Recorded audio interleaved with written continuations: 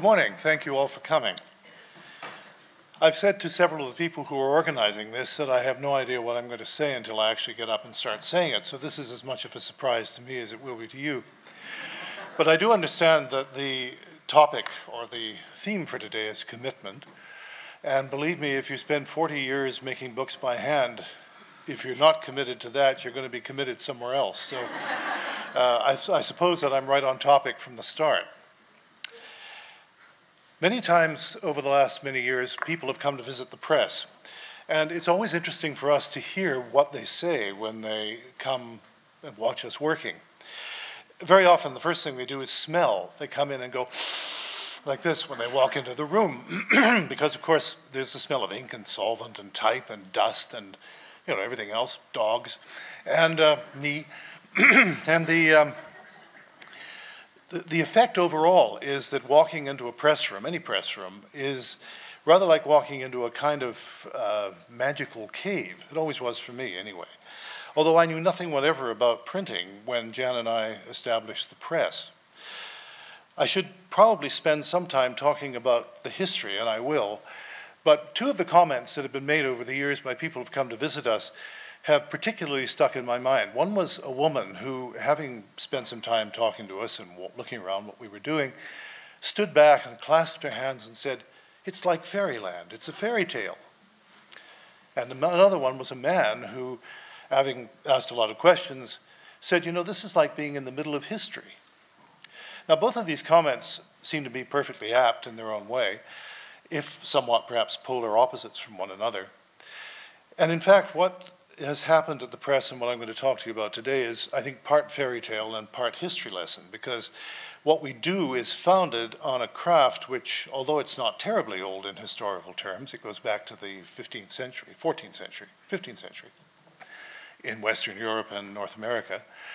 Uh, but it is, it has a surprisingly rich history, a surprisingly rich process. As you know, I'm sure you all know this, um, the first book was printed from movable type in Western Europe in what year? Does anyone know? Great. Very close, 1452, actually. Gutenberg's Bible, printed from movable type. It's not, as some people say, the first book ever printed from movable type in the world. Gutenberg didn't invent this process. It had already happened in China and Korea two or three hundred years before that but for various reasons never really was carried forward very much. Gutenberg, however, started printing in Western Europe and started the tradition of which we were a part. And his style, his methods, the kinds of press he used, the method of casting type and setting type and printing type, remained substantially unchanged for several hundred years afterwards. In fact, really the first huge change in the press that he used didn't come until the beginning of the 19th century when the iron hand press was developed. Up to that time, all the printing presses were made out of wood, as his was. They had slightly more sophisticated mechanisms, but that was really about the only difference. And in fact, printing, letterpress printing, as a main part of the printing process for every kind of printing that was done, books and advertisements and flyers and posters and everything else, really was the main process up until the middle of the, of the 20th century. 50 years ago, most cities still had letterpress shops running and running at a fair rate. They were doing a lot of work. A lot of newspapers in small towns were still printed letterpress in the 1950s. And when Jan and I started Barbarian Press in 1977 in England, and this is something which drives me crazy sometimes if I let it, we could have gone up to London with a big van and a lot of money and we could probably have outfitted the kind of press room we have within a couple of days of shopping. There were places where you could go to buy everything we use. I remember, for example, a shop called Printer's Pie, which is an expression used in letterpress for what happens when you spill a bunch of type on the floor and it gets all mixed up. It's called a printer's pie. There was a place called Printer's Pie where you could buy composing sticks, like this one down here in front of me, type, uh, setting rules, tweezers, special kinds of yarn for tying up type, everything you can imagine available right then for sale. Within 10 years of that time, all those shops had disappeared because the beginnings of uh, offset type had really taken over and the beginnings of the digital revolution, of course, were starting by the 1990s. So all of that suddenly disappeared. Uh, over 500 years of technology and development and thought going into techniques vanished almost overnight. Now, where we live here in Vancouver, there are only two or three letterpress shops, only one, well, I think there are two or three that do some commercial work, one of which is well represented here this morning, in fact, by several of its employees, and one or two private presses like ours. And private presses are what I'm here to talk about, and particularly our own. Now, the private press, this is a phrase which has fallen a bit out of use. People tend to say fine press now rather than private press. But the private press was started as a, as a term and as an idea really in the 1880s and 90s by a man named William Morris. A private press is simply a press in which the entire operation, the ownership of the materials, the design of the whatever is printed, usually books, the editorial impulses, the publishing strategies, everything else, are in the hands of one or two or very few people. In our case, Barbarian Press consists of Jan and me, and occasional help that we can rope in, unsuspecting guests who suddenly find themselves in the press room distributing type for us and that kind of thing. Um, we tell them it's educational and they don't mind very much. So. the, uh, the laugh you heard was from one of those people. um, she, she, she knows whereof she laughs. Um, but when Jan and I started Barbarian Press in, on January the 1st, 1977, we can put a, an actual date on it, we hadn't the remotest idea that we would end up doing what we have done for the last 40 years. It was very simple. It, it was an accident, really. I had written a poem and we wanted to have it printed because it was written for someone's 50th wedding anniversary and we needed to find a printer to print it. So a friend of ours who was an artist gave us a name, we got in touch, we met him on New Year's Day in the morning in a pub. Which is probably the reason I'm here today because if he hadn't been rather hungover, I don't think he ever would have agreed to the situation that we put in front of him. We had a very little bit of money, only 60 pounds, and we said, Can you print this poem for 60 pounds? And he said, No. But he said, Since I'm doing nothing but advertisements and cards for garages and so on, he said, I'm really bored, so I'll do it, but only if you help me. So we said, Fine. We had no idea what we were getting into. Now we do. Uh, we walked out of the pub, up a little lane to his cottage, in which there was a press and some type and some paper, and he began to teach us about printing. The first thing we learned from Graham, Graham Williams was his name, he ran a press called the Florin Press, was a very fine printer. The first thing we learned from Graham was how to tear paper. Now, even the notion that one had to learn how to tear paper was something that struck us as rather odd. But there is a way to do it, which is proper and right, especially if it's handmade paper, which is what we were dealing with. So he told us how to do that, and we learned that. And Jan sat in the kitchen tearing paper while Graham then showed me the type. And the type was, again, something that I was baffled by. A case about 30 inches by 20 inches with something over 80 little compartments in it, each one stuffed full with little pieces of metal type. I had no idea what the order of them was, but he told me. And the first thing I ever set was in six point italic Bodoni. Now, any of you who's ever handled type knows that six-point type is very bloody small. It's not easy at all. And even then, when my fingers were younger and more dexterous than they are, it was quite a chore. But I did it. I set the colophon for that first book. And in 10 days, the book was done. I learned an incredible amount, and so did Jan through that 10, 10 day period. And by the time we had finished, we decided that we did not, in fact, go to England to do PhDs at King's College London.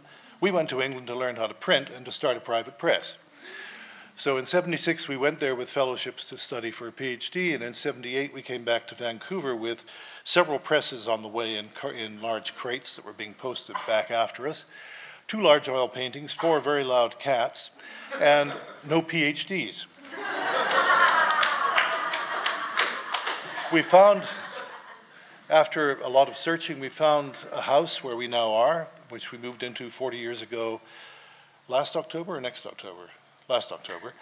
And we have been there ever since. Uh, we've built one new press room since we went there. The first press room was a shack. All of this is, it seems very glib to say this, that it just happened almost overnight. It didn't, of course. But we never wavered from our sense that this was exactly what we wanted to do. There was something about the serendipity of being introduced to the idea of being able to make books of texts that we loved in order to celebrate those texts, which has never left us. no matter the despair we often felt at uh, realizing that we were just about on the edge of the precipice financially, and that's happened very often, or when I've spilled a, a, whole case of eight-point centaur type on the floor about 2 o'clock in the morning and burst into tears, or when we uh, came home one night and found the press room flooded and had to take the goats out of the goat house and tether them to the Albion press so that they at least were dry. Um, all of these things aside, the commitment to the press never wavered at all. And this brings me to one difference, I think, between our press and our work in it and many other presses, and that is that we came to printing from the point of view of literature. We were academics, or at least proto-academics. Uh, we were going to be, we were working in literature. I'm, of course, a writer. Jan's a writer. And we expected that we would spend our lives teaching in universities. And we had done a fair bit of that and, and did after this too. But our attitude toward what we did as printers was to celebrate texts. And that too has changed over the last 40 years considerably. When we began, it was quite common to find in most big cities, in Vancouver, Toronto, Montreal, and certainly in San Francisco and LA and New York, all kinds of small presses like ours devoted to bringing out new poetry and new writing by new writers. This is a, a time-honored tradition in the private press. It's one of the things which the private press has been most importantly involved in over the last century or more. And at the time we were starting, we were able to do that. We published quite a bit of new poetry, new translations, which particularly interested us. But as time went by and as letterpress equipment and type and everything else began to become more and more rare and more and more expensive, it became impossible for us to produce books of new poetry at a price which was reasonable for the, for the material.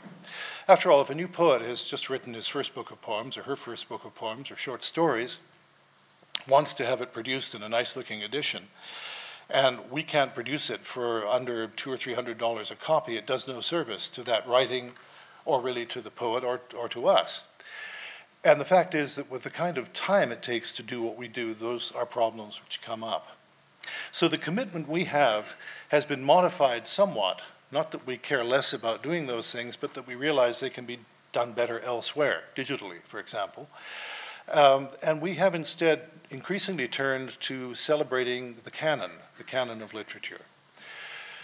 As students of literature all our lives, and as people who grew up with uh, books of all sorts in both our, both our families, we both read a great deal, we were intent on a problem which we saw increasingly emerging, which was that many people who had studied literature in high school, as most of us are condemned to do one way or another, um, and I say condemned because so often it's taught by people who are terrified of it. Have you noticed that? You know, teachers stand up to teach Shakespeare and they look as if they're shell shocked, as if they've been hit on the back of the head with a mallet, you know. And uh, we were really aware of the fact that most people, when they leave high school, never reread some of these great works of literature which they're exposed to then as, as young people. When we have published things like Keats' Aeolus and Agnes, or a book of Keats' Odes, or Shakespeare's Pericles, or Venus and Adonis, or any number of other canonical pieces of literature, among all the other things we do, we have every time we have had people write to us or phone us and say, you know, this Keats, this, this poem is really great. This guy knew what he was doing. You know, he said, I haven't read this since I was in high school. It's terrific. Do more. So we do. I mean, after all, we're after all we're in business. We should do what we're told to do. Right? This kind of printing, this kind of design and and and publishing, has become increasingly important to us. But along the way, another very important factor took over. When you're doing the kind of work we do, in fact, any kind of work that's associated with uh, the arts in the broadest possible sense, you meet other people who do other kinds of things. And among the people we met fairly early on were wood engravers. Now, wood engraving, uh, how many people know what wood engraving is? Oh, good, good, good number, okay. Wood engraving is simply illustrations for books or prints made for, for their own sake on type-high blocks, that is, blocks of wood which are planed to the same height as a piece of type that you're printing, so they can be printed together. And they're engraved with very fine knives, scorpers and gouges and various other names, uh, to create images. If you come up afterwards and look at some of the books here, there are some wood engraved illustrations which we've printed and commissioned um, for the press. We discovered these in 1984 when we decided to print, uh, really, I suppose, the first canonical piece that we've, we had encountered. We decided to do Dickens' Christmas Carol. We always loved the book, and we thought it would be a great idea. But of course, we also discovered that several private presses in the past had already done it. A friend of ours who was an academic, who had never had the sense to go into private press printing and had remained an academic, um, specialized in 19th century drama, and he said, you know, when Dickens wrote these, these books of his, they were usually stolen because there was no copyright. They were usually stolen by these playwrights who used to put together a play and put it on of the book, sometimes even before the book was finished, so that the book, the play ends differently than the book does. It's very embarrassing for somebody. Anyway, Dickens was very, very popular, and so his plays, were his books were stolen at random by all sorts of people. And Joel found uh, a particularly interesting version, dramatic version of A Christmas Carol, and we printed that. It hadn't been in print since the 1850s, 1840s. Uh, and we, in order to give it some presence and some interest, we commissioned wood engravings from a woman named Edwina Ellis in England. This was the first time that we had certainly commissioned wood engravings, although we had seen and admired them, and the first time Jan had printed them.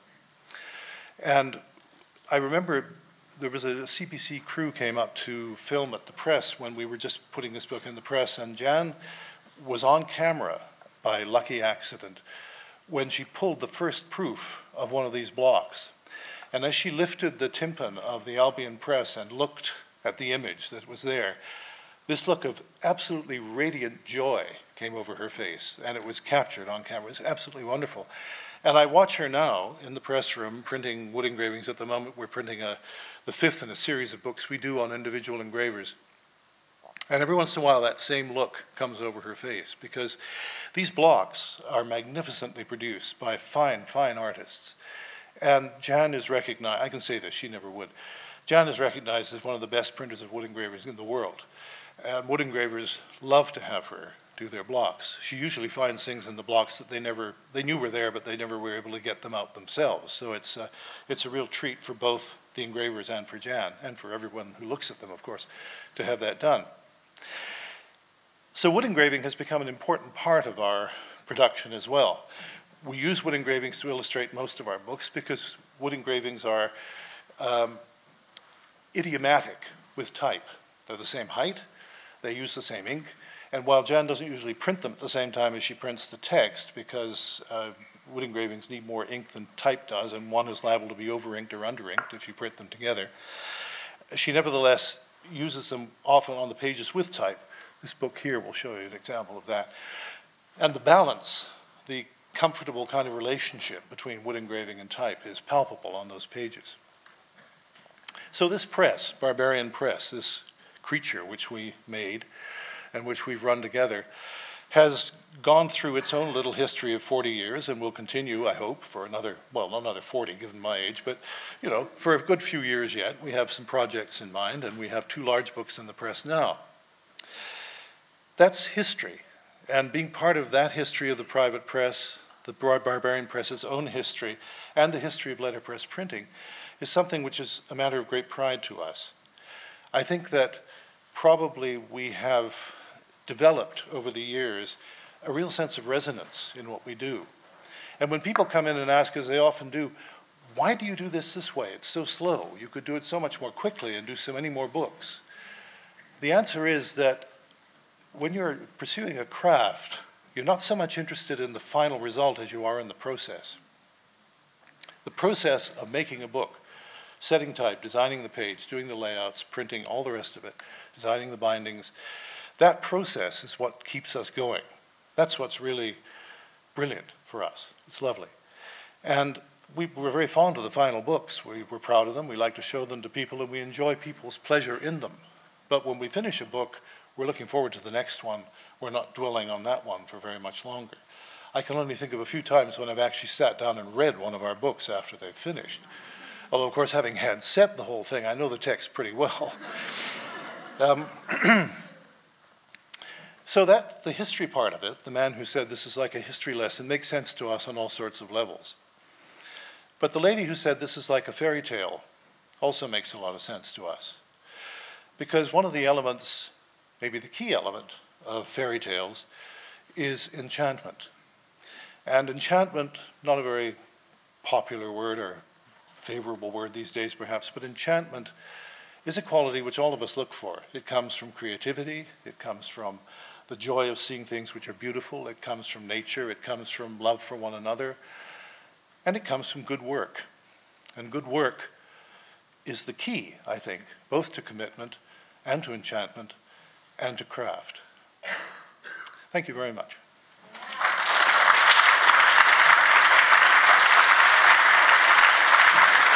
This is not, we could have easily done this as Jan and Crispin doing a talk. And of course, getting, I'm amazed because uh, 20 minutes is a very short period of time to give a presentation, and that's why I like this dialogic aspect of it. But uh, we could probably do a three-hour workshop easily and talk endlessly about these things. Well, so, uh, so if you guys hover near those microphones, um, I would like to give the audience a chance to ask either of you qu any questions relating to what we started uh, digging into here today. Sure. But my first question for you both is this. Your, your kind of, the collision of creativity, which often is about trying th new things and new ways and solving problems and fighting chaos and what have you, and this notion of commitment. You have taken a stand to commit to some old world technologies, these, these, these firmly entrenched ways of being, these beautiful things. Have you ever, and I, and, and you know, I'm sure along the way you were introduced to many opportunities to adopt new stuff, but have you ever made a, have you ever found that your commitment to that path backfired, or you had a regret that you didn't adopt some, some way of being? no. no. no, but it's all right. There's a more complicated answer than that. Um, it's true that we've never regretted that, but we're also not Luddites. Uh, we don't feel that this is the only way things can be done and be beautiful by any means. And there are a lot, I mean, for example, we sometimes use photopolymer plates, which are a new process to print from because they can be mounted and printed on a, the kind of press we use. Uh, in several of our books, which have used photographs, of course, we've had to have them printed out of house, so we have no problem with that. Uh, and there are a number of private presses in England, particularly, who feel the way we do about that. There's one press, particularly the old school press, which, which does reproductions of watercolor prints from digital prints with archival ink on an Epson printer, and they're absolutely exquisite. Nobody could possibly object, you know. Although there are a few diehards who sort of mumble and grunt and pull their suspenders, you know, this kind of. From my perspective as, as a printer, I mean, uh, there would be nothing for me to do if I weren't printing letterpress. I, I don't want to, I'm not putting it down in any way, but I don't want to push buttons and, and, and watch things flip through, right? So um, I love the relationship between me and the work that I'm doing and what comes up. And it's that really intimate relationship that gives me the drive to keep doing it.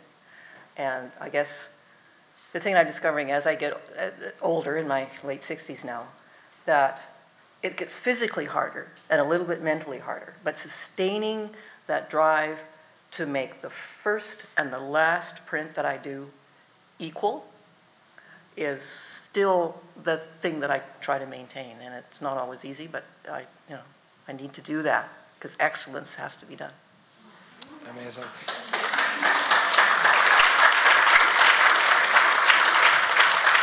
if you, if you uh, and I encourage you to do this, end up uh, able to um, engage in email co correspondence with, with Crispin and Jan, you'll notice when you get their emails, they're perfectly composed, perfectly typeset, and they, they use serif typefaces in their emails. Nobody uses serif typefaces in their emails anymore. Who has questions for our guest speaker back here? Here.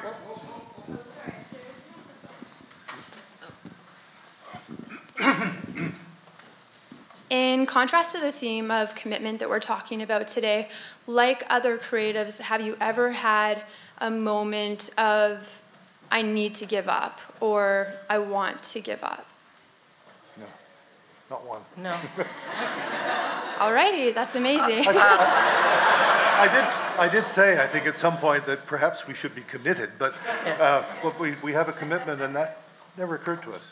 No. I mean, there are times when I wish I could take a break because it's pretty much continuous because we can't afford not to keep working. Yeah. So, I mean, that would be as close as I would ever come to saying, I don't want to do this for a month or something, but never, never a moment's doubt that we're doing the right thing The idea us. of retiring is absurd. I mean, I don't know what we'd do. We could, I mean, yes, of course, we could eat and listen to music and enjoy one another's company and maybe travel a bit, but I'd always want to get back into the press room and set type and design a book. That's what I do. And the thing that, this isn't really your question, but I, one of the things that sustains us is the fact that we're doing this together. It's, it's a great deal of work for one person to do. We do know some private presses that are essentially one person. But they don't generally do projects quite as big as we can do, with as much text, um, without, you know, the editorial expertise that Crispin has. And, you know, we haven't just made books, we've made a life together. And um, there's never been a moment when it's been a strain on our relationship or wanting, I mean, it's not that our, our marriage has always been perfect, but the working relationship and the fact that we're making things together has really sustained us all the way through the ups and downs that people have. And it's, it just kind of fell out, fortunately, that Crispin loves, does most of the designing, um, nearly all of it, and we collaborate on ideas for it and certainly the publishing part of it, but he sets the type and I print. And it wasn't something said, you know, where one of us said, you have to do this and I guess I'll do that. We just were naturally drawn to it. So that's another sort of serendipitous thing for us is that we fell into things individually that we both loved that we could do together. Uh, I just wanted to say thank you. testing. I just want to say thank you for uh, being here. And uh, for us who work in software, I find that I had a, a recent experience working on a letterpress. There's something about the tactile nature of putting your hands on something and seeing the results of it, which is very powerful. And for those who are in this area, like I am, there's this website called wepress.ca, and it's a community-based uh, letterpress. So they have two machines there. It's right beside uh, between Army and Navy and uh, Pigeon Park. So any, it's a membership-driven letterpress uh, workspace. So anybody can go and give it a try. Thank you. Oh, good, thank you. Hi there. Hi. Loved your presentation. You're definitely a Shakespearean actor. It's, it was in there. It was definitely in there. There you go. Um, my question is, during that week after you met with the, your, per- the friend at the pub, when during that week did you know that this is it? You guys are going to change your life to this direction. I can answer for me because I, I just Okay, yeah, told you, ahead, you please. people down there, right? Um, Crispin described my sitting in the kitchen with a wood stove, tearing the, making the fibers of the handmade paper just beautifully pull apart, It Wasn't tearing it. it was, um, and that's such a um, contemplative and intimate sort of thing to do. And it was the first thing that I've been able to do with my hands. I mean, I'm not saying I'm a klutz, but I was an athlete and I was an academic and an intellectual, but I was not an artist in any way. Um, but I discovered my hands in that kitchen. And I thought, okay, for the first time, I can take what's here and here, th- bring it through my hands, and there's something tangible in front of me that I can make. And that was it. I mean, I it was, found something I didn't know I really needed. What do I- My response to that is slightly more obstreperous. Graham was about my size and about my hairiness. And um, he and I, we had to work through the nights very often to get this thing finished. We only had 10 days to, to finish it. It's a bit like giving a talk at Creative Mornings. And um, in the middle of the night, sometimes, I would be putting the paper in the press, and Graham would be inking and pulling it. This is a hand press. And one or the other of us would start to drift off on our, uh, fall asleep on our feet, and the other one would reach across and slap him in the face. And it, I remember one time when Gra- I felt this across my face, and I kind of came to, and I thought, I'm glad to be here.